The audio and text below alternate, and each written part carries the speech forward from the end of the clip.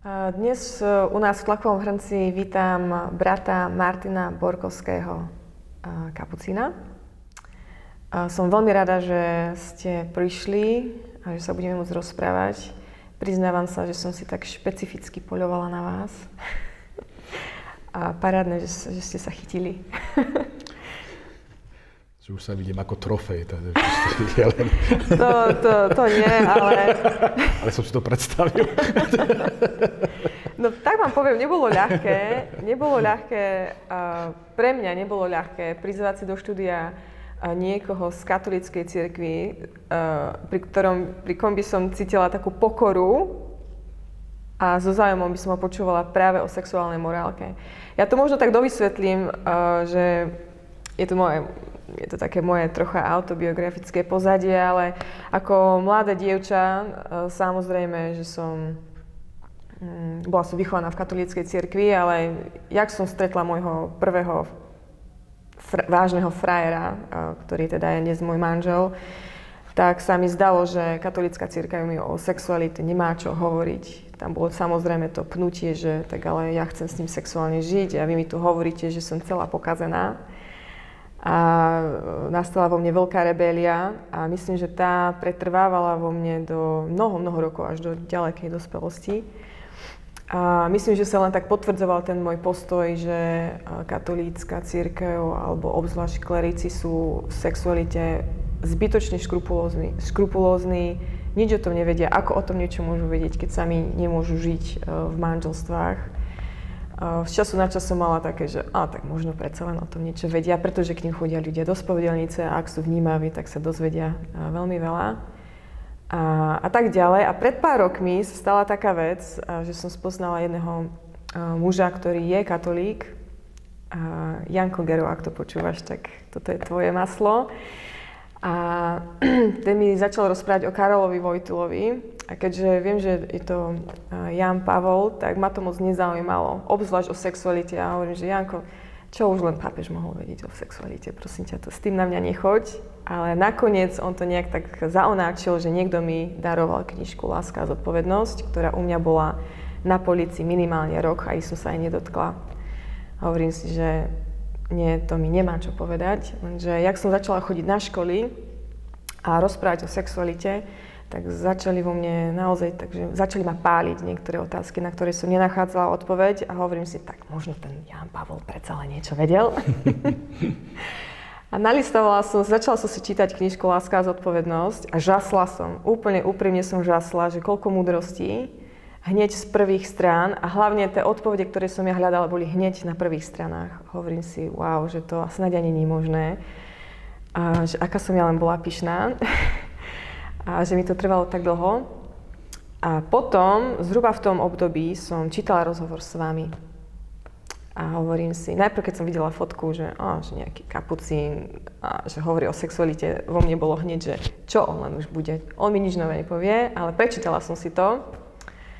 A zase som len žasla, že, že, že to, čo ste tam v tom rozhovore hovorili, bolo veľmi, veľmi, mne sa to veľmi prihováralo. Takže o to viac úplne mám radosť, že ste prišli.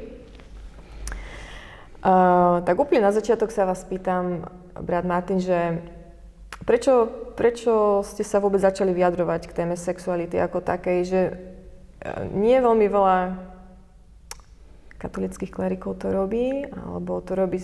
Prečo? A prečo vás novinári začali vôbec s týmto obťažovať? Tak ako som už povedal, keď sme sa stretli, hej, že som sa k tomu dostal ako že slepe kurák zrnu, tak sa, sa mi zdá, že sa to správne hovorí. Takže hm, ako kňaz v podstate pracujem stále s ľuďmi.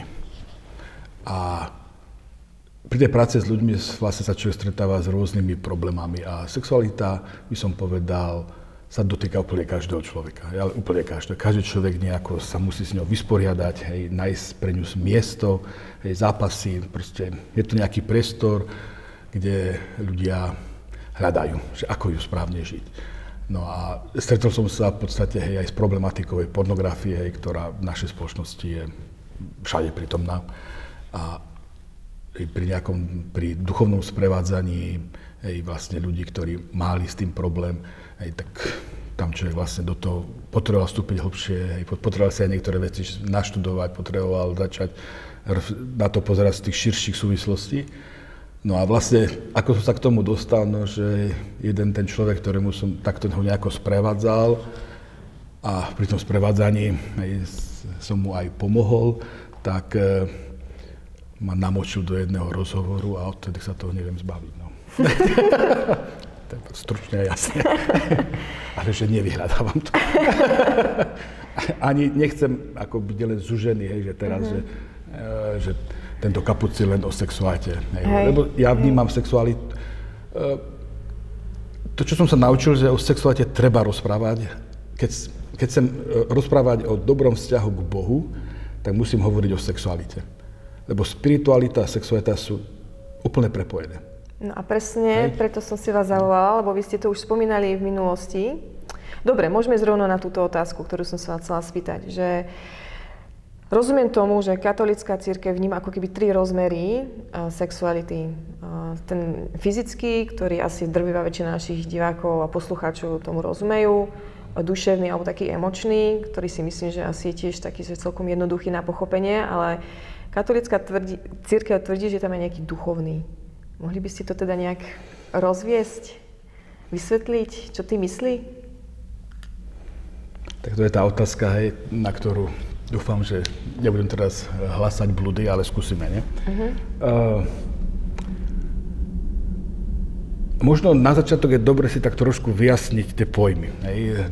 Telo, duša, duch a lebo dnes sa veľakrát pracuje s pojmami, ale sa im dávajú, by som povedal, nepravdivé výklady. A tieto tri pojmy, keď sa pozrieme za 2000 rokov v katolíckej cirkvi, hej, oni majú svoju veľmi dramatickú históriu. ano, že, a možno celý ten problém je hneď na začiatku, kedy my, e, hej, vychádza to z hebrejského myslenia, ale my sme to hebrejské myslenie starého zákona a nového zákona chceli vysvetliť cez grecké myslenie.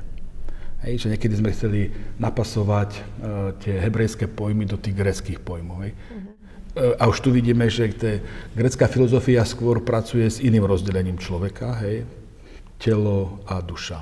Hej a skôr v takom by som povedal dualizme. Hej, že ten hmotný svet, to telesné, tá sexualita, alebo sexualita je prejavom telesného, to je zlé a dobre je iba to nejaké duševné, to duchovné. A už tu vidíme aj niekedy problém, aj v tom kresťanstve, že prečo máme problém s tou sexualitou. Ale za tým je niekedy, že my sa na to pozeráme nie cez to kresťanské posolstvo, ale cez to posolstvo greckej filozofie. A mnohí mysliteľa, hej, lebo hej, tam sa dá o tom veľa ro- ro- rozprávať, aj cirkevní, e, tiež tým zapasili a niekedy tie vody zamutili. Ale našťastie, myslím si, že po druhom vatikánskom koncilu hej, prichádza také, taký návrat k tým biblickým koreňom. A my by som povedal, že po 2000 rokov konečne objavujeme to hebrejské myslenie hej, ktoré v podstate je iné. Hej, a tam je vlastne tá telo, duša a duch. Uh, už tu máme problém, bo my sme naučení vnímať človeka, ako keby boli dve časti, ktoré vieme rozdeliť. Aj to hebrejské myslenie, keď povie o týchto troch častiach, tak by sme, by sme mohli povedať, že, že sú nerozdeliteľné. My ich rozdeľujeme, lebo chceme ich nejako uchopiť, ale to je človek, to sa nedá oddeliť. Hej? Mm-hmm. Hej? Ale my keď preto začneme už len rozprávať, že nech to len o, že ujde do nejakej tej duševnej oblasti, hej, a tam sa vidí dobrý a všetko telesné, tak to už vidíme, že sme niekde v platonizme. Hej. Hej. Ale keď sme v hebrejskom, tak Boh stvoril človeka, stvoril ho ako sexualitu, povedal plote a množstvo a povedal, že to super. Hej. Mm-hmm. Hej, že nám niečo nám uniká. Hej. Ale celý problém je možno problematika hriechu, prvotný hriech. Ale mm, aj tu vlastne potrebujeme ten pojem trošku e, ošetriť, že čo je to vlastne prvotný hriech. Že prvotný hriech nie je to, čo si my mnohokrát pod tým predstavujeme, tie jednotlivé skutky v tých jednotlivých oblastiach, hej, nie iba hej, v oblasti sexuality, lebo sú aj závažnejšie veci, uh, ale my vidíme mnohokrát, ale ten, ten prvotný hriech, to je odlučenie od Boha. A tam vlastne tá oblasť, hej, keď hovoríme o duchu, hej, tak by sme, by, sme, by sme mohli povedať, že to je tá časť človeka, hej, ktorá je napojená, by som povedal, na Boha. Hej? A že vlastne nám ten prvotný hriech nám zabránil práve budovať tento vzťah. Hej? Neviem, či sa už nestracame, ale že nie, nie, ja idem, snažím sa ísť veľmi jednoducho a snažím sa dať zatiaľ, zatiaľ... všetky tie veci, ktoré okolo toho, lebo je to všetko zložitejšie, hej, ale že aby sme my mohli hovoriť tak, hej, ako aj v katolíckej nejakej morálke, alebo hej, ako keď chceme ako katolíci hovoriť aj zdravo o sexualite, tak my musíme vnímať, že je tu nejaký vzťah s Bohom a že celé Sveté písmo hovorí, že čo, človek bol stvorený pre Boha. Hej, že Boh je cieľom človeka. Hej.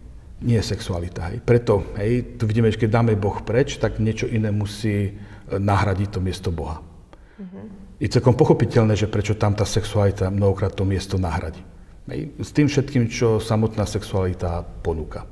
Hej. Mm-hmm. Ale dobrí učitelia hej, kresťanskej teológie alebo mysliteľia, mystici uh, hovoria, že že skutočný vzťah s Bohom je o mnoho silnejší ako samotný ten najlepší sex. Mm-hmm. Hej. Ale to sme v tej oblasti tej spirituality, hej, a tej, ale že ten hriech vlastne nám zabránil, že nás odlúčil od Boha.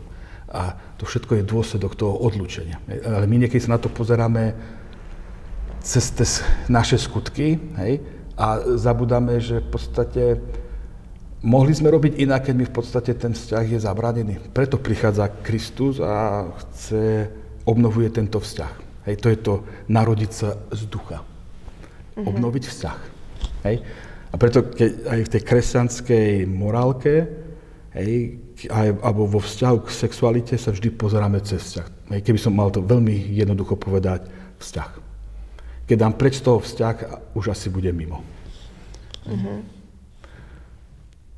Rozum, neviem, či, či tomu teda dobre rozumiem, že ako keby ten duchovný rozmer sexuality je vlastne tá, ako keby tá, tá vášeň, tá, tá, to mámenie k vzťahu k Bohu? Áno, tak by sme uh-huh. to mohli dať. Hej? Uh-huh. Hej? Uh-huh. Preto niektorí autori, neviem teraz to meno, on to tak pekne povedal, že, že, že na, meno si nepamätám, ale pamätám si, čo povedal. Hej? Tak pekne povedal, že že na čo nám vlastne Boh dal hej, samotnú sexualitu hej, a, a celú tú radosť, tú vášeň sa s tou sexualitou spojené a že, že to je predzves hej, toho neba. Že predzves o mnoho niečoho silnejšieho. Hej. A nám, nám tento rozmer uniká. Hej. Nám proste sa zo sexuality strátil tento, uh, tento duchovný rozmer. Hej. My, my ostávame v tej oblasti duše, a hej, duša by sme mohli povedať, že to je tá psychika, to sú naše uh, rôzne nadania, talenty, hej, ako myslíme, inteligencia hej, a tieto všetky veci a potom hej, samotné uh-huh. telo, hej, že ostávame skôr tu. Uh-huh. Hej. Myslím, že aj proroci často prirovnávajú v starom zákone ako keby tú lásku alebo vášeň Boha k, k ľuďom ako cez manžela, manželku. Aj všetci mystici, keď uh-huh. chcú pripodobniť e, vzťah s Bohom, idú cez manželstvo, cez manželský mm-hmm. akt. Hej, mm-hmm. že to je, že použijú obraz, ktorý je pre nás najsilnejší a hovoria, hej, pri, pri, prirovnávajú k tomu, ale povedia, že je to viac. Že život s Bohom je viac, ale tu už vidíme, že život s Bohom není poučka. Život s Bohom není hej, nejaký balíček zákazov, príkazov. Hej, mm-hmm. hej. E, keď nemám ten vzťah s Bohom, tie zákazy, príkazy trošku strácajú zmysel. Hej. Mm-hmm. Hej, že, mm-hmm. že nám niekedy chyba taká, by som povedal, no logika. Hej, že musím mať A, aby som mohol ísť k B. Hej, my niekedy mm-hmm. chceme C, ale bez B a A. Hej, mm-hmm. hej, hej, že, ale že ten duch, hej, hovorí presne, by som povedal, že ostať napojený na prameň môjho bytia, že kde v tej svojej podstate som najviac sám sebou. Hej, hej, to je tá duchovná oblasť, hej, že proste a dá sa s tým pracovať ďalej, ale aby sme to moc sa v tom nestratili, mm-hmm. hej, bo ja som sa skoro v tom stratil, keď som to už všetko chcel. Dobre, môžeme skľudniť ďalej. Um... Ale že je to dôležité, bo ono sa to, by som povedal, že, že dobre, že, sme tým začali, lebo hej, keď hovoríme cez tú spiritualitu, hej, to je vždy vzťah, hej. A všetko, čo budeme hovoriť, toto tam potrebujeme mať niekde na pozadí. Mm-hmm. Hej? V podstate ste asi ako keby tak potvrdili to, čo som tak nejak um, uvažovala. Rozmýšľala som totiž, že ako, akým až zásadným zásadným spôsobom zasiahne pornografia do sexuality človeka. A najčasť, najčastejšie e, sťažnosti, ktoré ako keby počujem od uh, ženatých alebo vydatých žien, a teda od ľudí, ktorí žijú v manželstve, je, že pornografia im narúšila kapacitu byť prítomný počas sexuálneho aktu. Prítomnosť. Hej? A ja som nad tým potom tak uvažovala, že sexuálny akt, pokiaľ teda není ovplyvnený a dajme tomu ideál, za ideálnych okolností je, že dvaja ľudia ktorí si navzájom totálne dôverujú, majú k sebe najintimnejší vzťah, aký vôbec ľudskou bytosťou môžu mať. V jednom okamihu sú úplne, ale úplne prítomní navzájom pre seba.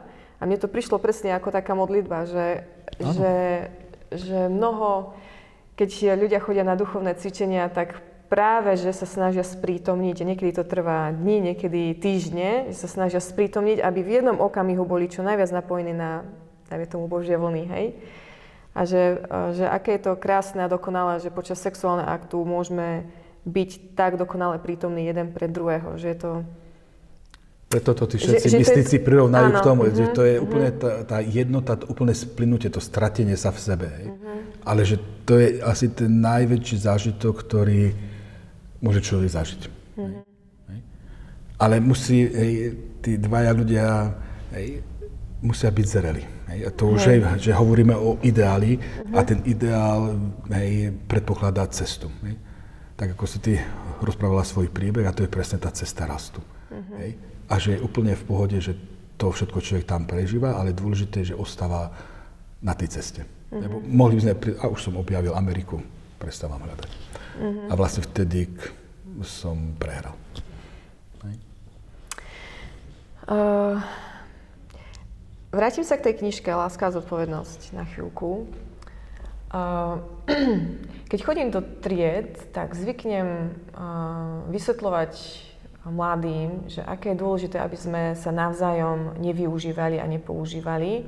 A vysvetlím to na jednoduchých príkladoch že je v poriadku niekoho použiť, pokiaľ človek o tom vie a sám s tým súhlasí. Dáme tomu, keď, idem, keď idú ráno do školy, tak pravdepodobne ich cieľ je vzdelanie a používajú na to svojho učiteľa.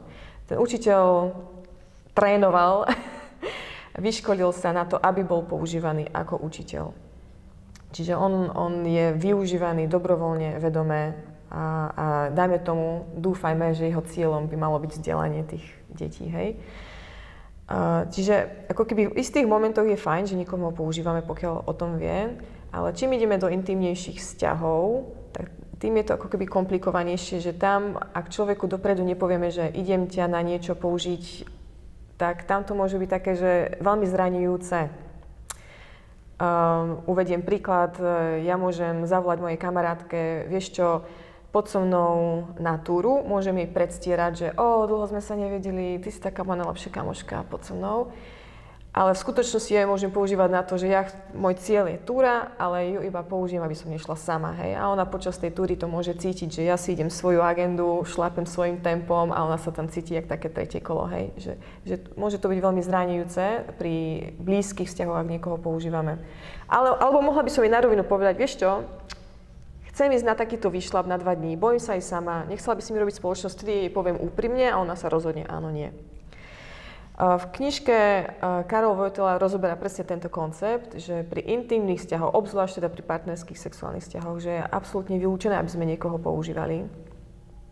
A, ja som na tým dlho rozmýšľala, že ako by som mala možno mladým ľuďom vysvetliť, že prečo nie, lebo oni mi hneď naspäť hádžu argumenty, hej, povedia mi, No OK, ale pokiaľ je to dobrovoľné, ak, ak ten princíp dobrovoľnosti a vedomia, že sme používaní, to ospravedlní, tak potom napríklad pornografia je úplne akceptovateľná, pretože herci sú tam dobrovoľne, vedia na čo sú tam, diváci to pozerajú dobrovoľne, vedia prečo to pozerajú, čiže oni si navzájom poslúžia a stále ide ale o nejaký intimný akt. Alebo príklad prostitútka so zákazníkom, alebo dvaja mladí ľudia, ktorí si povedia, tak my budeme spolu iba spávať, ale nemusíme mať žiadny vzťah. Hej, majú každý svoje výhody z toho. Napadá vás nejaký dobrý argument, že, ktorý by ako keby nejak zmietol a tieto, tieto um, uvažovania? Tá zrelosť človeka. Hej. Keď sme zreli, robíme zrelé rozhodnutia. Keď sme nezreli, robíme nezrelé rozhodnutia.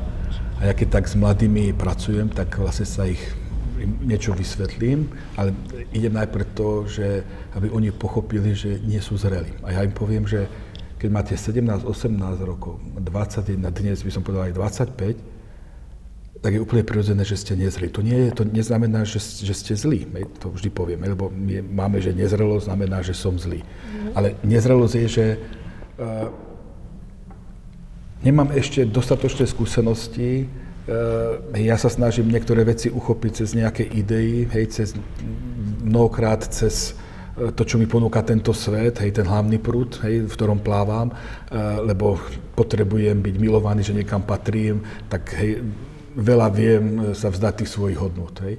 A že ja hovorím, že tá zrelosť je veľmi dôležitá, že či je to naozaj dobrovoľné a či je to, a že čo vlastne za tým hľadám. Lebo sa, keď sa stretnú dvaja nezrelí ľudia, oni si to ospravedlnia. Hej. Mm-hmm. Že, áno.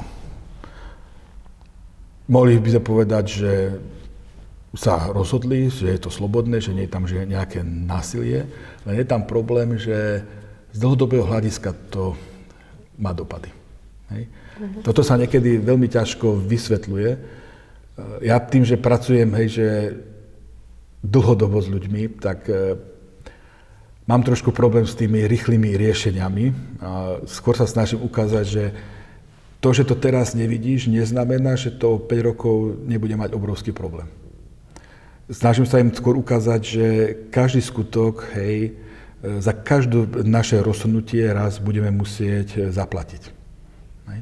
To, čo sa Richard Rohr tak pekne povie, že to, čo sa nám v mladosti zdalo ako náš najväčší dar, tak v tej druhej polovici bude, bude náš najväčší hriech. Že tá istá vec. Hej?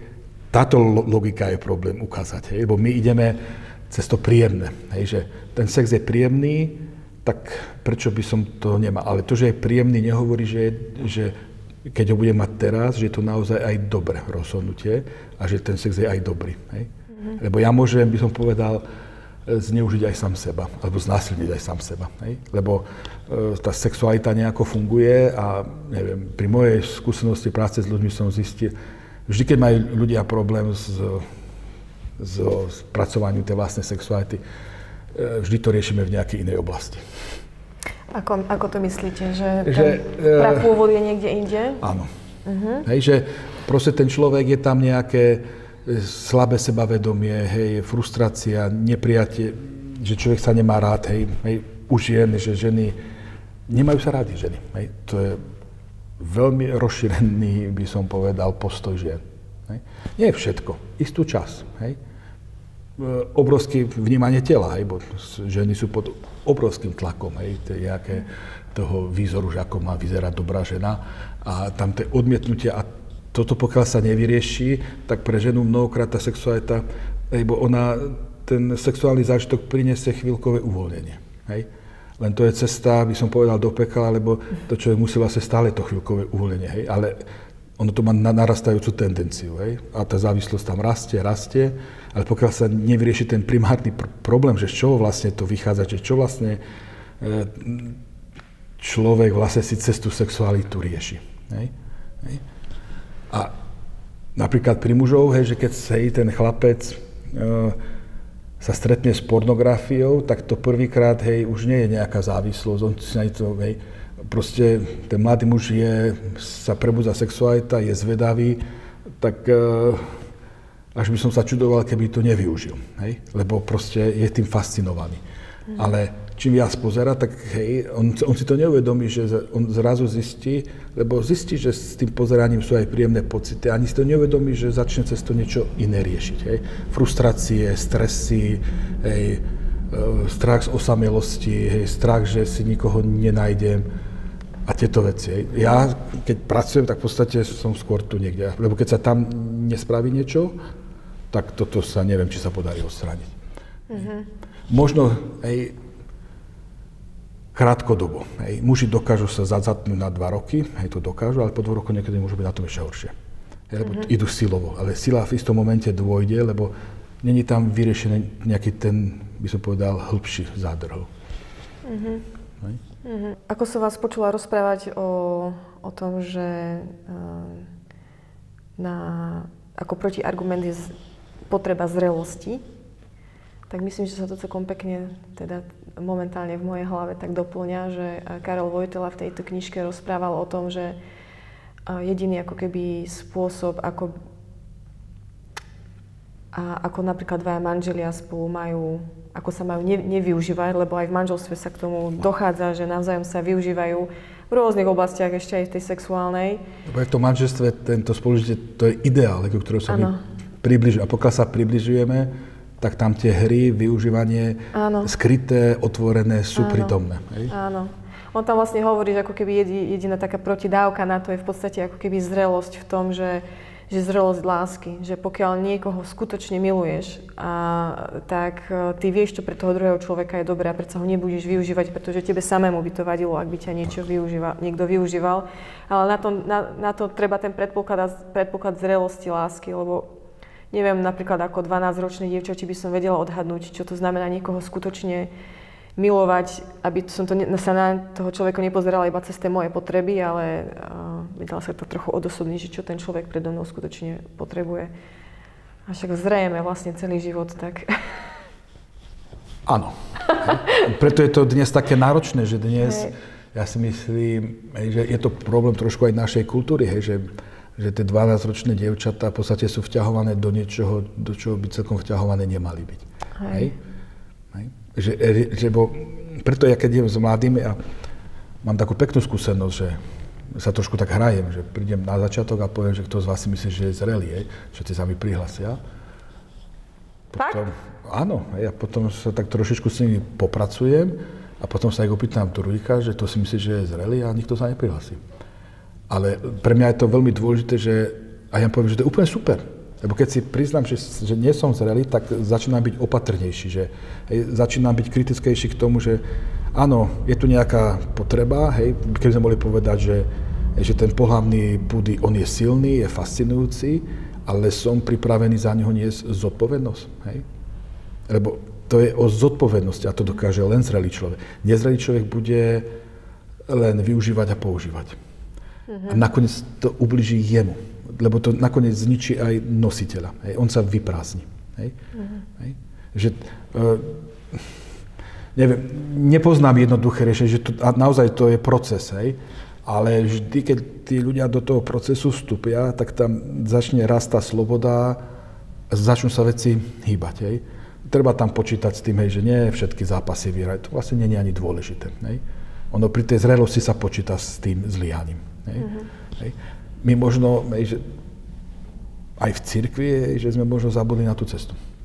Hej, to je možno to. Je, myslím, že to bola taká, že to bolo kľúčové v mojom dospievaní, že jak sa vo mne zobudil sexuálny púd ako v mladom dievčati, tak ja som v podstate počúvala uh, aj na spovedelniciach, aj na kázniach. Ja som si to všetko tak vysvetlila, že ja som vlastne celá pokazená. Celá som pokazená a hnevala som sa veľmi na Boha. Hovorím, že Pane Bože, Ty si mi dal sexualitu zobudila sa ako lev a presne som to mala tak rozdelené, že duševné, duchovné, to, to je to dobro a všetko, čo je také fyzické a telesné, že to je celé zlé. A ja som tú sexualitu prežívala samozrejme Celý fyzicky. krásny ja, platonizmus. Ja som sa cítila, že som celá pokazená a že vlastne, prečo si mi to Pán Boh dal, ak, ak ma máš rád. Hej? A myslím, že v tom čase by mi veľmi bolo pomohlo, keby ma niekto tak iba ukľudnil, že Livia, to je, ty ideš zrieť od teraz, neboj sa, si v pohode, toto sa deje všetkým, nielen tebe. A Ale to je presne to, čo mladí na ceste, potrebujú počuť, ceste. lebo s tým sa stretávame, že mladí presne potrebujú počuť, že je to v pohode, to, čo prežíva. To, že aj v tej puberte proste, keď sa prebúza sexuálita, tak je to rozhádzané a že raz, že to hýbe a všade sa tá sexualita vidie, keď človek učí 7 8 spraví gesto, slov, to sa, oni všade vidia sexualitu, hej. Nie sú zlí, hej. To je proste, tak, takto sme stvorení, hej. hej. A prečo sa prebudza sexualita práve vtedy, kedy sme asi na ňu najmenej pripravení, no to ja netuším. Hej. Otázka, otázka na šefa, nie? Ale my niekedy chceme od tých nezrelých hej, veľmi zrelé výkony. Uh-huh. Hej. A že niekedy, myslím si, že to, čo nevieme ponúknuť, že týmto nezrelým chlapcom a dievčatám to prijati, že je to OK. Uh-huh. Že aj my sme si museli prejsť obdobím nezrelosti, ale vidíš, že dá sa to zvládnuť.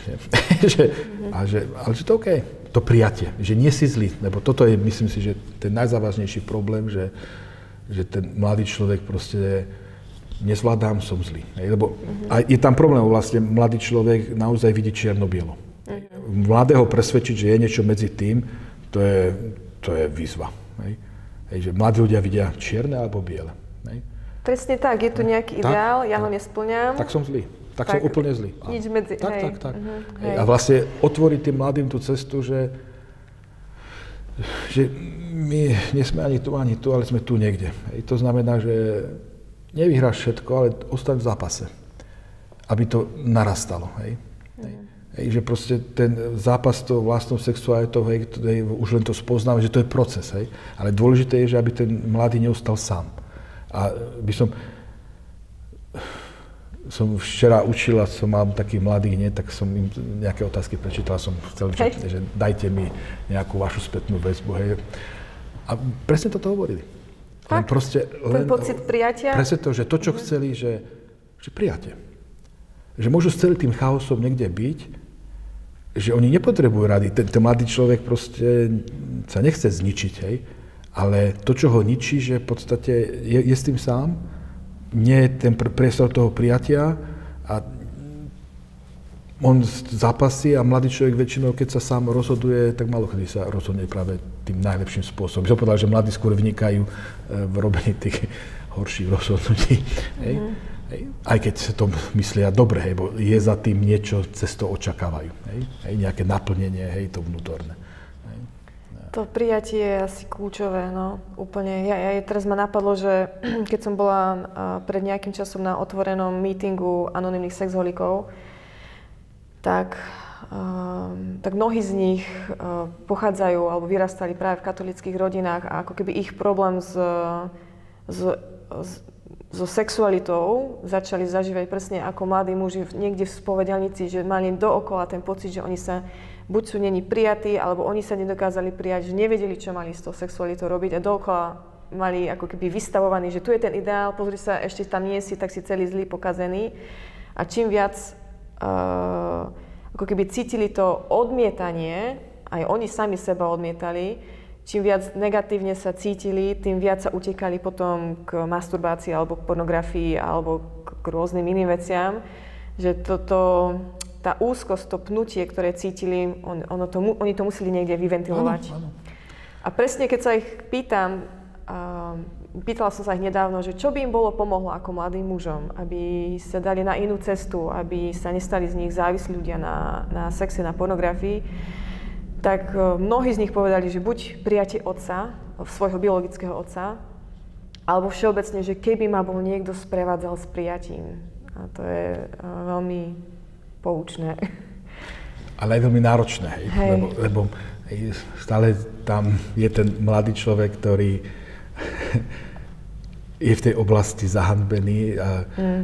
to nejakí dvaja americkí psychológovia, oni napísali knihu Kainová výchova a oni tam dávajú taký pekný príklad, ale sa mi to veľmi páči, že oni hovoria, že, že keď mladý chlapec prichádza hej, s nejakým, že má hovoriť o svojom vnútri, takže vždy niekde na blízku je masturbácia, že on v podstate nevie, uh-huh. že keď má otvoriť, že musí to otvoriť. Hej? A tam vlastne sa cíti, hej, že zraniteľ sa bojí, že keď otvorí a že ukáže, že v podstate hej, že masturbuje, že či nebude zahanbený. Hej, a ostane sám. Hej, že v podstate uh-huh. ten samotný zápas, ktorý ten chlapec musí vybojovať, a keď už spraví ten krok a on riskuje tú otvorenosť a z druhej strany príde niečo drsné, uh-huh. tak toho muža to zavre, niekedy aj na celý život. Uh-huh. Hej, ale že tam to je proces, hej, že v podstate tá sexualita sa nejako prebudzá, hej, e, má svoje prejavy a to ešte neznamená, že ten chlapec je zlý. Hej. Preto uh-huh. ja niekedy hovorím, že hej, lebo u mužov trošku to je niečo iné ako u žen, lebo ženy trošku cez tú sexualitu, to, je vzťahová vec. Hej. Tam e, e riešia niečo iné, ale u muža je to hodnotová vec. Hej. Takže ja hovorím mužom, že to, že tu nevyhrávaš, ešte neznamená, že si zlý. Hej, ale to, že v tejto oblasti zápasíš, hej, ale to, že či si dobrý, to znamená, aký život žije, že či naozaj snaží sa do, do tohto sveta nejaké dobro vniesť. Hej. Mm-hmm. Hej, že my nesme len dobrí alebo zlí. Hej. Toto je, to je utopia. Hej. Mm-hmm. Lebo aj ten najhorší človek, hej, by kresťania nemôžem povedať, že je zlý, lebo by sme vlastne trošku popreli, že je stvorený na Boží obraz. Keď je stvorený na Boží obraz, tak to dobro tam niekde zahrabané je. Hej. Takže ak tomu rozumiem, hovoríte, že muži, ktorí zápasia so svojím sexuálnym správaním, a dáme tomu muži zápasiaci so závislosťou na pornografii, že oni sami seba vnímajú ako, že majú nízku hodnotu. Že cez, komple- cez tú hodnotu, ich, že keď uh-huh. tu nevyhrám, tak nemám hodnotu. Aha. Nemôžem sa mať rád. Hej? Uh-huh. Lebo v podstate tu zlyhávam, že ten muž je... Uh, máme také svoje nereálne predstavy o tom, hej, že čo to, o tej dokonalosti. Hej? Hej? Uh-huh. Nikto nás nevedie k tomu, že dokonalosť neznamená, sa nerovná bezchybnosť. Hej? My naháňame bezchybnosť a to, to je utopia. Toto je reálne. Hej? E, čo je to zrelosť? Zrelosť je, že Viem o svojich silných stránkach a o svojich slabých stránkach. Viem, kde, keď sa aj na hlavu postavím, tak neprebijem mur stenov. Hej, narazím na svoje limity, hej, ale napriek tomu ich príjmem, objímem, sú súčasťou mňa. Hej. A keď ich príjmem, tak ma prestávajú ovládať. Hej. Ale vieme o, o svojich silných stránkach, to je zrelý človek. Hej. On vie, že, že, že sme skôr takí pruhovaní, by som povedal. Hej. Uh-huh. Hej. Ale keď chceme byť iba čierni alebo bieli, to, to je problém. Aj ten čierny je problém, aj ten biely je problém. To sú extrémy, nie sú reálne. Uh-huh. A vo vzťahu k Bohu, hej, že mne sa veľmi páči, že Ježiš hej, to veľmi jasne hovorí. Bo Ježiš jasne povie, že neprišiel kvôli spravodlivým. On s kým má problém? S tými dokonalými. Uh-huh. Z tých proste ho strašne vytačali. On nemá problém s riečníkom. S úprimným človekom, ktorý príde pred Boha a povie, ja to nedávam. Uh-huh. Ja by som rád. Hej. Nedávam. Hej. Mo- moje možnosti sú proste... Niekedy treba s tým človekom kráčať hej, a on možno padne 10 tisíc krát ešte a napriek tomu je na ceste. A že na novo vždy stať. Hej. Uh-huh. Hej. To, čo som hovorila o takej, takej možno mojich predsudkoch alebo predpokladoch o tom, ako je katolická církev veľmi škrupulózna, čo sa týka sexuálnej morálky, to vnímam, že to není iba moje, hej? Že vnímam, že to um, verejnosť všeobecne asi tak vníma katolickú církev. Avšak teda ja našťastie som bola vyvedená z omilu aj týmto rozhovorom s vami, aj literatúrou, ktorou čítam ale prečo myslíte, že má, má katolická církev takúto povesť? Lebo ja, ja tak ako šípim, že niekde v centre ona vôbec není škrupulózna, čo sa týka sexuálnej morálky, ale že prečo, prečo sa to tak ako keby prekladá do, do tej verejnosti, alebo že prečo to tak presakuje, prečo to tak pôsobí?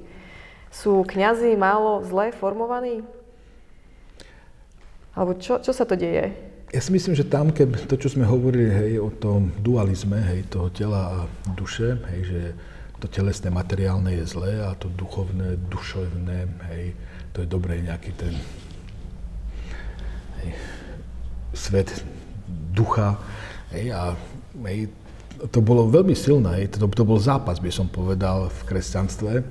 Hej. Našťastie sme vždy ustali, hej, taký ten pravdivý pohľad, že ten dualizmus nemá s kresťanstvom nič spoločné, aj keď on je stále prítomný. Hej. Hej, že my ma stále máme pocit, lebo to telo nás nejako vyrušuje, hej, tak e, vidíme, že aj keď sa snažíme, tak niekedy nám tie sily dôjdu, hej, proste máme niekedy ten problém, hej, iný, ale že... E, takže je tam aj ten historický kontext, a potom možno, že niekedy sme sa stali takými, že obrancami ideálu. Ten ideál je dôležitý, bo bez, ja poviem, že bez ideálu, neviem, či vieme bez ideálu žiť. Každý človek, úplne každý, jedno, či je veriaci, neveriaci, má nejaký ideál, ktorý ho pohyňa dopredu. Keď nemá, tak asi bude už len...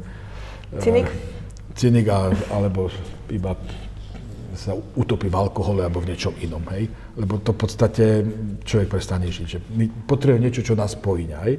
Takže ideál je dôležité, ale to, čo je dôležité, že nám na Zemi sa si ten ideál nikdy nepodarí na 100% žiť.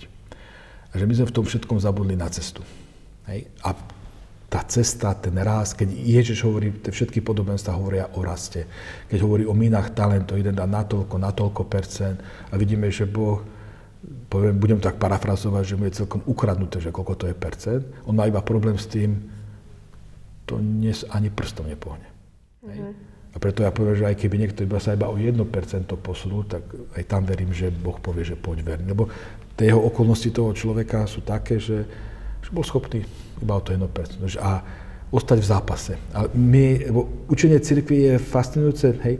Ono niekedy je problém, že samotní katolíci to učenie cirkvi moc nečítajú v také tie seriózne oficiálne dokumenty, lebo tam je, tam je fascinujúca hĺbka a sloboda. Hej. My, číta, my hej, čítame také neviem, ako by som to tak slušne povedal, hej, hej rôzne uh, pamflety, nazvime to takto. hej, ale nečítame tú serióznu teológiu, kde je reflexia, kde je naozaj, hej, to učenie cirkvi povie, že pokiaľ sme tu na zemi, vedieme zápas. My naozaj každý deň vedieme zápas o seba. Hej, seriózny duchovný človek vie, že keď sa ráno zobudí, tak sa musí na novo rozhodnúť, idem dnes, aj dnes chcem prežiť život naplno, aj dnešný deň chcem byť dobrý. Aj dnes chcem tým svojim partnerom budovať vzťah. Dnes nechcem pozerať pornografiu, hej, keby sme mm-hmm. sa vrátili k téme. Mm-hmm. Hej, že proste to je o tom. My niekedy chceme vyhrať za 20 rokov, že za 20 rokov, 20 rokov nechcem pozerať, to prehráme už ten deň. Dnes. Mm-hmm. Hej, že Ježiš povie, dnešný deň má do svojich starostí. Že to sú, tie Ježišové rady sú fascinujúce, jednoduché. Naozaj stačí žiť jeden deň a večer povedať si, wow, tento deň bol perfektný. Uh-huh. Hej? Stačí. Uh-huh. Hej? Takže my, my to máme, hej, ale ja si myslím, že tým, že sme sa stali obrancami ideálu, ale zabudli sme to, čo aj mne nejako chýba v cirkvi, že hovorí o tej ceste. O ceste, kde zlyhanie je prítomné. Reálne zlyhanie. To znamená, že máme problém hovoriť, že nevyhra všetky zápasy. Ale pritom aj v tradícii cirkvi to je prítomné. Pušní otcovia sú v tom, to je jeden, hej, taká oblasť, kde vidíme tú genialitu, kde pušní otcovia o sexualite rozprávajú neskutočne otvorene a veľmi realisticky. Mám rád taký ten príbeh, hej, kedy mladý mních príde za starým a hovorí, že to nedáva, že proste ani tú čistotu, ani cel práve proste, že odchádza z kláštora. Ten starý mních mu hovorí, že vieš čo, ešte počkaj, skôr ako odídeš, ale že keď že e, padni tisíckrát, tisíckrát vstaň a potom príde a sa porozprávame. A končí ten príbeh, že mladý mních z kláštora neodišiel. My máme problém s týmto, že tisíckrát padnú a tisíckrát vstať. To je spiritualita. Mm-hmm. My sme vošli do nejakej tej zákonickej morálky, hej, že pokiaľ nenaplňaš všetky pravidla, tak si zlý. Hej. Ale že spiritualita pracuje, on, spiritualita vedome pracuje s, tým, s tou hriešnosťou, s, tým, s tou nemožnosťou, že e, hlboký duchovný človek príde k jednej obrovskej pravde, že, že nevie milovať. Je, že my, tak ako sme hovorili o tom používaní, my naozaj používame. Nie, hej. Uh-huh. Niekedy veľmi rafinované. Hej. Paradoxne, keď človek uzná, že nie som schopný milovať, paradoxne sa otvorí cesta milovať. Ale pokiaľ som presvedčený, že ja milujem, tak môžem žiť v veľkej slepote. Takže tá spiritualita je fascinujúca. Brat Martin, každého hostia, ktorého si tu pozveme, sa pýtam jednu otázku a tú istú. Vás sa spýtam dve.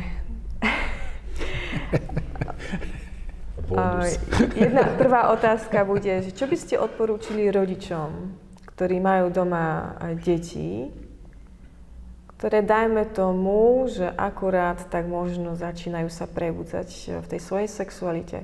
Ako by ste im odporúčili, ako ich sprevádzať? Alebo aj kľudne mladšie. Akože to, to sprevádzanie, sexuálne dozrievanie môže začať aj v 5 rokoch. Nechcem vám ako nahrávať, ale e, čo by ste odporúčili rodičom? A druhá podotázka bude, čo by ste odporúčili kňazom, ktorí prichádzajú do kontaktu s mnohými mladými a deťmi?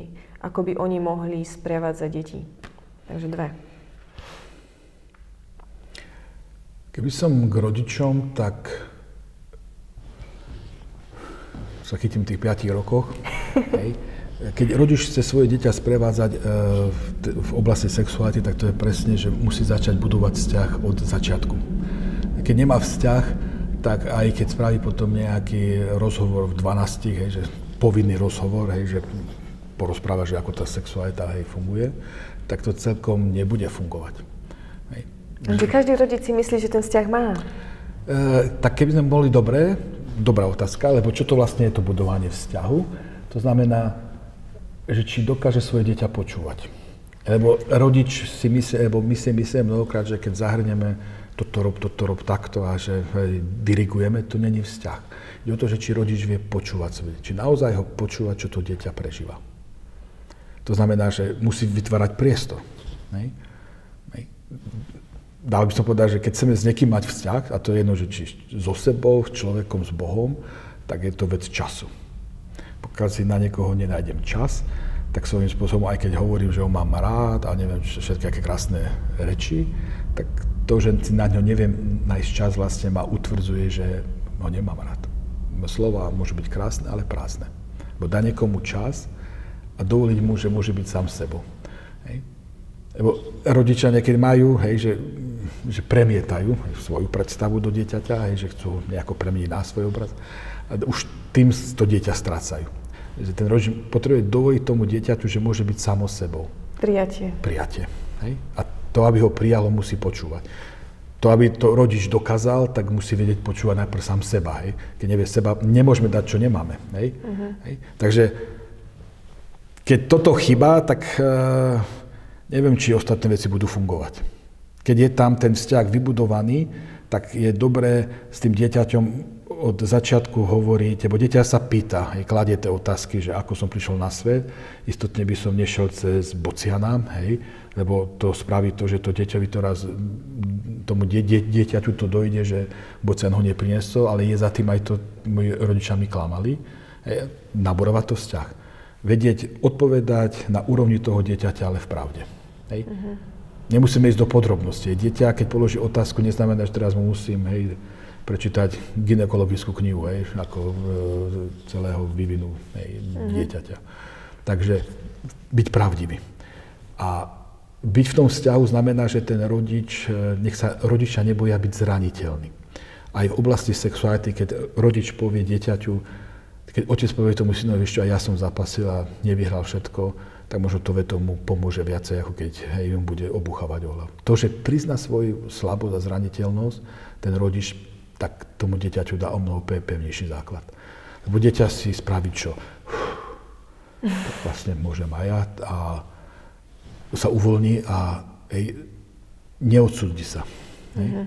hej, hej. A tam potom ten e, rozhovor, hej, že pri tej sexualite je vždy, aj mama, aj otec, hej, že ja vidím, že je dôležité, aby aj mami rozprávali, hej, aj so synmi, aj s cerami, aj otec, aby rozprával so synami aj cerami, lebo ten, hej, tam sú tie vzťahy, že keď hovorí otec s cerou, tak v podstate otec je ten prvý najkľúčovejší muž v živote cery. Hej, a dáva aj nejaký obraz, hej, a bude mať obrovský dopad, že ako tá dcera bude tie vzťahy budovať. Hej, že mal by vedieť s tou dcerou ten otec mať vzťah a vedieť s ňou aj hovoriť tak otvorene, o tej mužskej sexualite, nie o ženskej, o mužskej, že po, lebo on mu jej môže niečo povedať. Takisto aj naopak, hej, že matka môže synovi povedať niečo o ženskej sexualite. A ne, nemyslí sa teraz iba hej, samotný polhavný akt, hej, ale tá celistvosť vlastne, čo je to vlastne žena, hej, a čo je to vlastne ten muž, hej, že celkovo to prežívanie, hej, že, hej, že vlastne sú úplne iní, hej, a že mhm. vybudovať vzťah, že to je, to je zázrak, by som to povedal, hej, mm. hej, že ty, toto by som asi rodičom, že uh, úprimnosť, to znamená budovanie vzťahu, aj pravdivosť a zraniteľnosť. Zraniteľnosť rodiča, dieťa je zraniteľné, hej, hej, hej, ono je otvorené, ale rodiče niekedy sa, sa bojí, že keď ukáže svoju chybu, že stratí svoje dieťa. Nie, paradoxne ho získa. Stratí autoritu.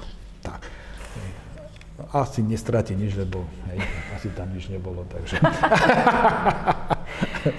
Uh, odporúčali by ste rodičom aj tak, že celkom proaktívne otvárať tieto témy z doma, alebo čakať, kým sa dieťa bude pýtať? Ja by som skôr rodičov povzbudil, že aby oni boli aktívni, hej, on, ten rodič vie zachytiť, hej, že sa, sa tá sexualita prebudza a že aby do toho vstúpil, lebo to, to dieťa je naozaj, sa niečo prebudza, ono je zahanbené, hej, a hej, to dieťa má tendenciu, že zrazu zistí, že hej, nejaký ten že tá sexualita, hej, je tam nejaké to vzrušenie, hej, a zrazu nejaké tie pocity, a hej, ono naozaj, hej, to dieťa si to môže vyložiť e, veľmi fascinujúco. Ja už som počul všeličo, že zomrie alebo tak, ako to je úplne geniálne, ako deti, deti fungujú, čo my si dospelí neuvedomujeme. Preto keď ten rodič vie zachytiť veľmi rýchlo ten, tú prebudzajúcu sexualitu, tak tomu dieťaťu priniesie istotu, že to, čo sa s ním deje, je OK. Ano. A, ale ide o tú otvorenosť a o takú, že, že sú isté prejavy sexuality, ktoré sú úplne prirodzené. Že to nehovorí nič o tom, či je zlé, že napríklad to, to prijatie tej sexuality toho dieťaťa. Lebo my začíname presne naopak. To, čo sme tam hej, hovorili, že prečo sa nám zdá, že je to také škrupulózne, lebo my vstúpime do vzťahu a ideme so zákazmi. Hej. Mm. Ale pokiaľ hej, tá, neviem, ja pri tej svojej práci som zistil, že ten začiatok je veľmi zásadný. Hej, lebo hej, keď vieme, ako fungujú emócie a že v každej tej oblasti tie najsilnejšie zážitky hej, nám do tej hlavy vypália nejaký ten emočný vzorec, tak e, a my podľa neho potom ďalej fungujeme. A teraz, keď si to vzťahneme na tú sexualitu, hej, keď sa nám do tej sexuality vy, vypalia vzorce, hej, že som zlý, alebo pocit hanby, viny a neviem čo všetkého možného, tak to kriví sexualitu od začiatku, hej, až do konca. Hej. Preto je to tak na začiatku dôležité, že najprv tomu dieťaťu ukázať, že to, čo sa v ňom prebudzá, aj keď to ešte vôbec nezvláda, že, že napriek tomu je to super. Dokonca Boh povedal, že je to veľmi dobré. A až potom prichádza, aby som povedal, tá morálka, tá zodpovednosť a že je to rast. Hej. E, radšej by som použil to slovo rast. Hej, že, že to je proces. Hej, že, uh, že to dieťa, že bude sa to dieťa musieť naučiť dať tej svojej sexualite správny priestor, ale vždy v tom širšom kontexte. Hej.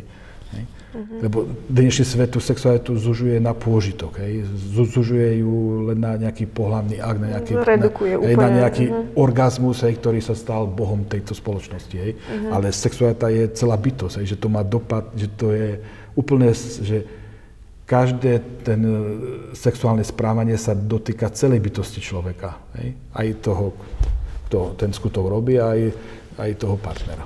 Hej. Uh-huh. Hej. Čo by ste odporúčili kňazom? Ako by mali sprevádzať deti, ktoré, s ktorými sa stretávajú? Ja môžem iba takú jednoduchú radu, že, že ten dieťa dospievajúci je veľmi zraniteľný. A že niekedy jedno naše slovo, hej, alebo niekedy som povedal, že gesto, ako zareagujeme, môže mať ďaleko siahle dopady. Hej, že, že vnímať, že koho máme pred sebou. Lebo keď toto nebudeme vnímať, že to není o poučke. To není, že ja sa naučím nejakú poučku, ale že vnímať živého človeka. To je to, čo vlastne nás aj po druhom vatikánskom koncile, hej, že nehreší systém, ale človek. Ale je tu vždy človek so svojím príbehom. Hej. A že my máme ho posunúť k tej zrelosti, hej, že hej, neho udúpať. A pokiaľ nevieme sprostredkovať prijatie, e, tak ako chceme odovzdať nejakú pozvanku. Hej, to proste nefunguje. Hej. Mm-hmm. Asi iba toľko. Mm-hmm. Si myslím, že to je to najza, lebo ten kňaz sa stretáva s tým mladým, s tým dieťaťom, že ono prichádza, hej, a prichádza s, s niečím, hej, hej, a očakáva prijatie, hej. Keď my ho zoberieme teraz nejaký ten, ten morálny ideál, hej, ktorý sám o sebe nie je zlý, je potrebný, to sme hovorili, ale keď my ho zoberieme a tak o hlavu obucháme, hej, tak neviem, no. Potom máme tie dôsledky. Hej. Oh, presne tak to bolo. No. Trvalo mi 30 rokov, kým som sa z toho spamätala. To sú, to sú tie dôsledky, ktoré je dobré o tom hovoriť, že, že keď v tom detstve, v tom dospievaní sme veľmi zraniteľní. Hej? A keď nevnímame toho človeka pred sebou, tak mu ubližíme. Hej. A my nemusíme mať zlý úmysel. Len sme nevnímali hej, toho človeka. Hej. Mm. To, že je mladý, fascinovaný sexualitou, no nie je to až také prekvapivé. Ani by som ho za to neodsudzoval, hej, len by som mu otvoril priestor, že, že áno, to je super, ale ten život je aj o niečom viac. Mm. Hej. Ja ho potrebujem pomaličky presvedčiť, že je viacej, aj keď on, hej, keď je, hej, sa hovorí, že v tej sexualite sú také štádia, hej, že to je objavenie, hej, potom tá fascinácia, skoro posadnutosť, hej, potom to zúfalstvo, že to nemám pod kontrolou, ale asi tým mi treba prejsť. Mm-hmm. A v dnešnej dobe, kedy žijeme vo virtuálnom svete, kedy tá sexualita, ne by som povedal, tá najvulgárnejšia forma sexuality je tak ľahko dostupná, hej, to veď sa dnes sa hovorí, nie, že uh, už o pornogenerácii, že v podstate už nájsť mladého a hej, u, mužskej populácii, tak to hej, asi aj zbytočne hľadať, hej, ale je už to problém aj v tej ženskej. Hej? Mm-hmm. Hej, že, takže tam, e, hej, to je tá, že prijať tú realitu, tu sa nachádzame aj napriek tomu, hej, že to neznamená, že títo ľudia nemôžu rásť, že sa nemôžu stať slobodnými. Hej. Len majú trošku, by som povedal, stiažené tie východiskové pozície. Hej? Myslím, že možno aj um, ako keby stratili pojem o tom ideálu, že na čo vlastne sexualita je, okrem toho, že je na orgazmus. Ja sa to zvyknem pýtať v triede, že tak, decka, na čo máme sex? A oni samozrejme sa tak usmejú a povedú na orgazmus.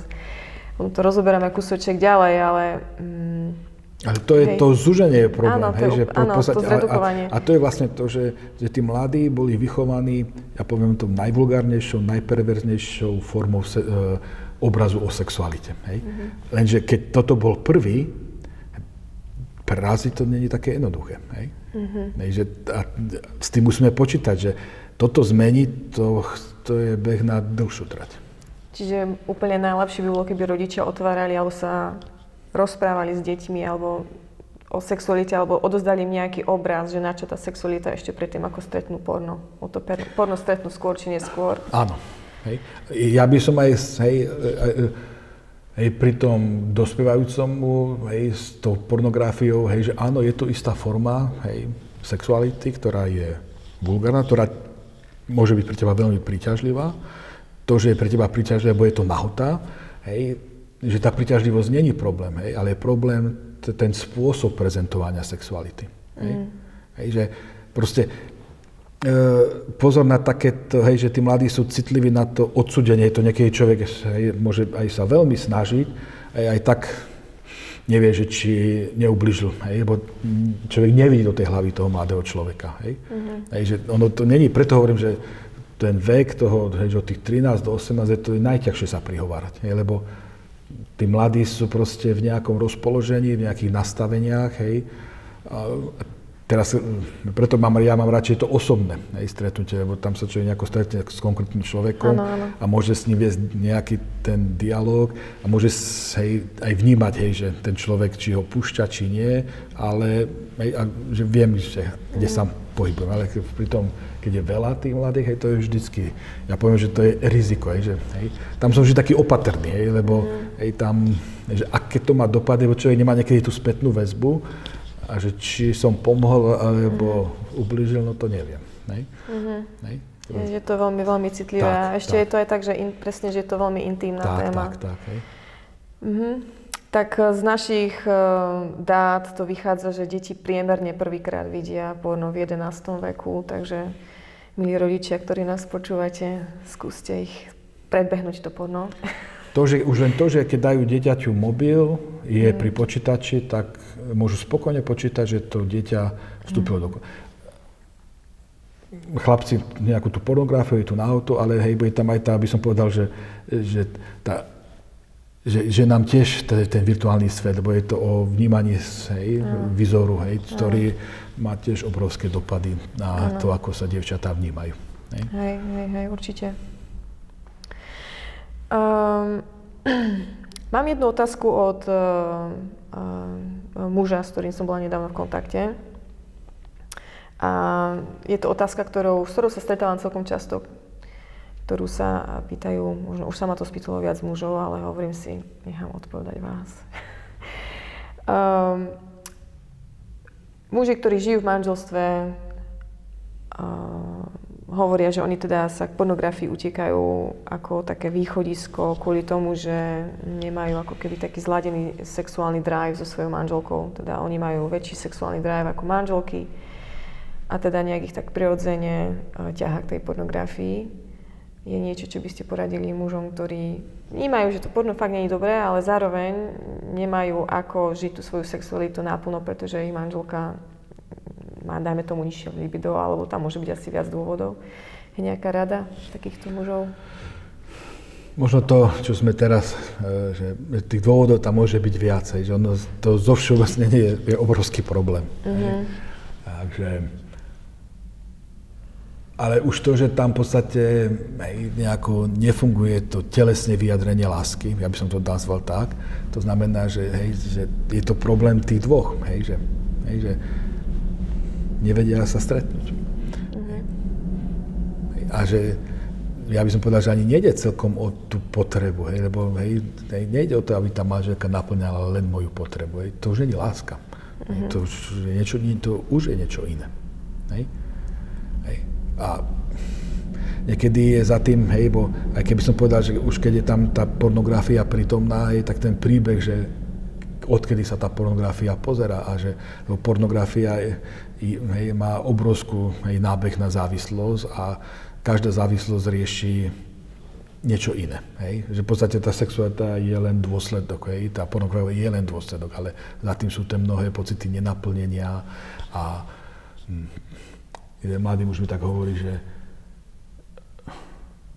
že prečo pozerá pornografiu, lebo aspoň nejako cíti, že je milovaný. Ale to je cit. Mm-hmm. Pritom to nemá logiku, nie? Hej? Nie.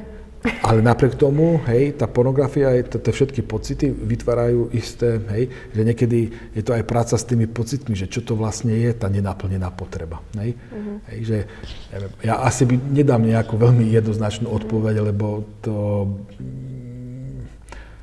by asi viacej narobilo škody. Hej. Že tam treba veľmi vnímať ten konkrétny príbeh. Lebo môžu byť aj biologické veci, hej. Strašne veľa vecí tam môže byť. Hej. Mm-hmm. Hej. Že to nemusí byť naozaj ako keby ten problém, že rozdiel v, v tých libidách, ale to môže byť naozaj, že problém celkovo vo vzťahu alebo v príbehu každého Lebo, lebo my možno dneska sa trošku tak, hej, to je, je, je to také kliše, možno ten mýt, hej, že proste hej, že muži hej, majú viac chuť na sex, hej, tak, hej, a ter, tak preto ich teraz takto vnímam, ako keby muž sa nevedel ovládať. Hej. Uh-huh. To, že muž má, hej, hej, že chuť na ten sex, to neznamená, že teraz hej, musí ho mať furt. Uh-huh. A keď ho potrebuje stále, tak uh, znamená, že niečo do tej sexuality, hej, že je t- príliš veľa sa do tej sexuality vneslo, hej, že hej, mnoho to sú tiež také, ten, by som povedal, že také tie mytologické záležitosti, že sa ožením a už budem mať sex, hej, koľko budem chcieť. No to je mytológia. hej, úplná mytológia, lebo sa nepočíta, že na druhej strane je žena, ktorá funguje inak. Aj po tej sexuálnej oblasti. Hej? Uh-huh. Hej, a že je to, by som povedal skôr, že je skôr muž pozvaný k tomu, aby sa priblížil k žene. Hej. Mm. Hej, tam je tak, keď sa nemýlim, tá krivka vzrušivosti, hej, že ženská ide takto, mužská ide takto. Mm. Žena s tým nevie nič spraviť. Mm. Je to muž, ktorý sa musí priblížiť k žene. Mm. Muž, ktorý sa nevie ovládať, nemá šancu sa priblížiť. Mm-hmm. že, a to je presne o vzťahu, hej, že niekedy, keď tá žena ten sex nechce, môže byť za tým to, že uh, Erikson to má takú peknej, že on hovorí, že čo je takým tým vrcholom takej, že tí, že ten, že tí manželia hej, dosiahli takú hĺbku, hlbokú intimitu, vlastne ten spoločný orgazmus. Mm-hmm. Hej? Že v podstate sa, to, že sa prepojili a že vlastne hej, tam tú jednotu zažili. Len tam je problém, lebo hej, tie krivky zrušivosti, hej, ten muž, keď hej, a pornografia robí, hej, že muž v podstate mm Hej, ne, on to nevie ustať. Uh-huh. Hej. Nevie proste vytvoriť tej žene priestor. Hej. Hej. Preto už tam hovorím, že aj o tej erotike, hej, o tej pred, predohre a všetko. To, to, čo je okolo toho dôležité, hej, ale pornografia, keď to zúži len na orgazmus, uh-huh. tak mužský. by som, mužský, mužský orgazmus, lebo nie je ženský, presne tak, to je dobrá pripomienka, že to je mužský orgazmus, tak svojím spôsobom tam ťažko môžeme rozprávať o vzťahu, že, že to je veľmi zložité. Hej, že my, to je tak, zre, ale to už sa ani zredukovať viac nedá. Tak, asi. tak, tak, hej, že to, a to aj teraz ideme, hej, že len, len skratkami, ale že to je tak zložité a tam vidíme tu, možno tá naša prvá otázka, hej, že či môžem len tak použiť iného. Hej. Áno, pokiaľ ho chcem použiť, no tak ho iba použijem, hej, hej. Ale že darovať seba druhému, tak to je, to je umenie. Mm-hmm. Hej. Mm-hmm. To. Vy ste už začali s, s mýtmi. A ja mám na takú, takú otázku pre vás pripravenú, že aké časté mýty pozorujete o sexuálnej morálke v sekulárnej spoločnosti a potom aké časté mýty pozorujete práve medzi katolíkmi alebo v katolíckej spoločnosti, ktorým veríme. Hovorili sme aj o tom, čo robí pornografia, hej, že to, hej, keby celá tá sexualita bola len o tom orgazme, hej, hej, to je naozaj zúženie. E, ja si myslím, že my žijeme v kultúre, ktorá... Viem to celkom pochopiť, bo keď sa vytráca Boh, hej, tak uh, uh, nie, niečo jeho miesto musí nabrať. Hej. A my sme uverili, že Hej, že, lebo dneska je taký, nie, že, že keď nemá sex, tak nemôže byť šťastný. Hej. Hej, čo v podstate veľa ľudí hej, diskvalifikuje. Hej, že, hej. Um, aj nás celibatníkov to tiež diskvalifikuje, že vlastne my sme nemali byť šťastní. Hej. Ale že, že to je mytus, hej, hej lebo uh, bez sexu človek môže byť šťastný, môže žiť naozaj veľmi naplnený život. Hej. Uh-huh. Že, už tu vidíme, že, že ten samotný sex hej, má svoje miesto, hej, hej, učenie cirkvi hovorí, že má, má miesto v tom manželstve, kde tí dvaja, je to jeden prejav lásky. Hej. By som povedal, že hej, mám rád tento názov, hej, že, že je to prejavom lásky. Hej. Nie je to prejavom uspokojenia, aj keď tam to uspokojenie je, hej, ale je, je rozdiel, lebo láska je o, o darovaní seba tomu druhému. Hej, bezpodmienečne. Hej. Keď to je obojsmerné, tak je to fascinujúce. Hej. Hej, že, ale pokiaľ je tam to používanie a takto, tak je to, hej, že proste my žijeme v tej kultúre, že sme si zboštili sexualitu. Alebo ten orgazmus by sme mohli mm-hmm. povedať, lebo sexualita je niečo viacej. Mm-hmm. Hej. Takže ja poviem, že keby to bola pravda, tak po našom svete by mali chodiť naj, najšťastnejší ľudia momentálne. Neviem, kde sú schovaní. A vy by ste mali byť ale že hrozne tak, tak, tak, tak, tak, tak, tak, hej. Hej, hej že proste, hej, to, že toto nám aj ukazuje, takže asi v tomto, hej. Mm-hmm. A v takomto našom kresťanskom je, že by som povedal, uh, možno, že ten samotný prístup tej sexualite, že my si myslíme, že, že tú sexualitu dokážeme na 100% ovládať, úplne mať pod kontrolou, hej.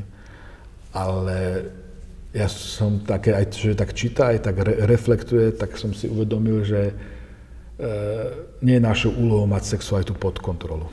Hej, lebo sexualita je dobrým indikátorom tých hĺbších vecí v nás. Hej. Keď som v rovnováhe, zrelý, celistvý, vyrovnaný, mám spracované všetky svoje traumy, tak sexualita, nemusím do, do nej utekať. Mm-hmm. Hej? A ona musí ostať slobodná, hej. hej že mhm. proste je, je dobrým indikátorom. Hej. Aj tie uniky do sexuality, hej, že či do striedania partnerov, do naháňania orgazmu, e, pornografie, masturbácia, do čoho všetkého možného, hej, ukazuje, že niekde hĺbšie sú problémy. Hej. Mm-hmm. Z mojej skúsenosti vždy, hej, keď je, sú, je tam problém sexuality, tak je, vždy e, musím ísť hĺbšie. Uh-huh. Že, že, že, že tá sexualita je... To som celý ja. Hej? Preto je to prepojené s tou spiritualitou, lebo keď chcem mať vzťah s Bohom, tak môžem tam vstúpiť len ako celý ja. Uh-huh. ako telo, duša a duch. Uh-huh. Hej, že, hej, že pokiaľ tam chcem vstúpiť iba ako telo, to nebude fungovať. Hej, pokiaľ ako duša, nebude to fungovať. Hej, ako duch, nebude to fungovať. Uh-huh. Hej. To je celá tá zložka. Áno. Hej. Ale my to niekedy tak robíme, hej, že žijeme nejaký preduchovnili, že sa veľa modlíme hej, a hej, že nič telesné, hej, že proste, hej, hej. Ale navonok komunikujeme niečo iné, že chýba nám radosť. Mm-hmm. Hej. Ako by na, sme sa odpojili od zdroja. Hej. Ako by sme sa vypli od seba. Hej. Mm-hmm. Nepovedal aj Kristus, že podľa toho, aký budete radostní, vás ľudia budú poznať? Či si to zle pamätám? Lásky, hej, ale láska a radosť majú v sebe blízko. ja, ja si, si myslím, to že, ako radostný. Áno, áno. E, ono by som povedal, že tá láska, radosť, sloboda, hej, hej, že radosť, sloboda a pokoj sú také tri hodnoty, ktoré si celkom sami nevieme dať. Hej? Mm-hmm. A keď ich navonok nejako chceme komunikovať, že ich hráme, tak e, ono to o chvíľu je vidieť. Mm-hmm. Hej, taká maškarada trošku. Hej. Mm-hmm. Na chvíľku to môže fungovať, ale z dlhodobého hľadiska buď človek má takúto prirodzenú radosť v sebe, alebo ju nemá. Hej. Mm-hmm. No. Možno obzvlášť, jak, e, jak, jak stárneme, tak keď vidím človeka, ktorý je starší a má v očiach radosť, úprimnú radosť, to je taká rarita. A hneď by som sa ho išla spýtať, odkiaľ to máš? To je možno naša prvá otázka, keď sme ho, ho, hovorili o tej zrelosti, že mm-hmm. áno, keď príjmem, že som nezrelý, musím byť opatrný. Keď nebudem opatrný, tak ono sa to 50 rokov prejaví. Mm-hmm. Možno práve na tých mojich očiach. Mm-hmm. Hej? Mm-hmm. Že ono to počka. Ono všetko nás dobehne. Mm-hmm. Hej? No z mojej strany asi všetko, uh, brat Martin. Je niečo, čo by ste divákom odkázali, niečo, čo som sa vás nepýtala? Uh, že by ste rád dodali? Ja možno by som iba tak počiarkol, že by sa nebali ostať na ceste rastu. Deň mm-hmm. po dni. Mm-hmm. Hej, sa rozhodli, že chcú byť slobodní, že chcú byť radostní. Hej. Asi toľko. Mm-hmm. Ďakujem veľmi pekne. Rado sa stalo.